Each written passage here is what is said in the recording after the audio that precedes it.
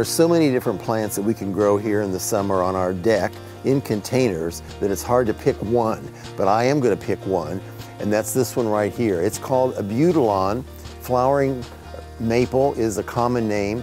This particular one is called Red Tiger, I think appropriately named. And you can see the way the veins are in it, they're colored. I think it almost looks like a Chihuly glass. The buds come out like this. You can see those, they're just ready to burst open, and then it opens like this. This particular plant, it's probably about eight or nine feet tall, and it was down to less than three feet when I started this spring, so it's grown this much.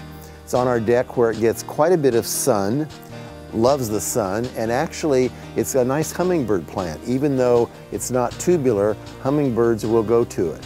They do come in different colors. You can get solid colors. There's a red, there's a peach, there's a yellow. Uh, so different, different solid colors, but this one is actually my favorite.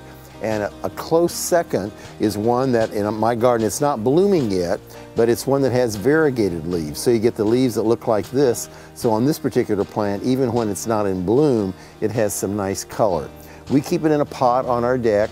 I would just warn you that it's not totally winter hardy because it may die down in the winter and may not come back, but with a little protection, they usually go through the winter here. Once again, it's Abutilon, flowering maple, and this particular one is called Red Tiger.